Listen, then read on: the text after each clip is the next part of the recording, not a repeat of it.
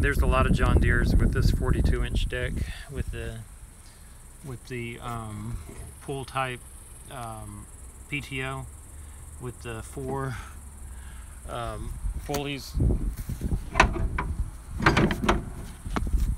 Okay. And um, so it's got the cable and then that small tensioner pulley. Um, normally takes a, an A101 belt, um, which makes it a, a 103 inch on the outer diameter.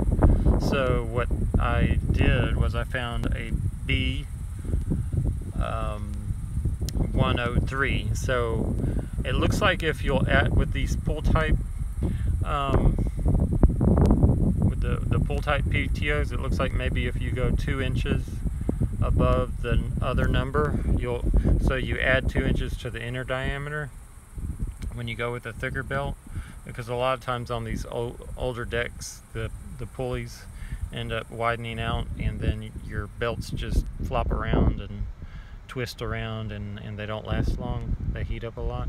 So I just got done mowing and this is at a good temperature. Um, it was quiet. Of course, I did change out a bearing, um, and it just it just mowed good.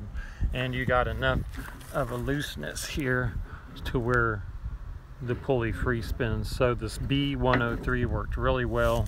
If you want to end up going with that, you'll get a whole lot more torque, a whole lot more cutting power uh, with these thicker belts, and a lot, a lot longer la lasting life and if you're doing it for a customer they won't come back as often.